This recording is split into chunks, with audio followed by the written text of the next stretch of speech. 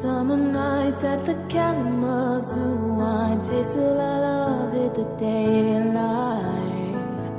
I love to be loved by you. Oh, your love is unguarded.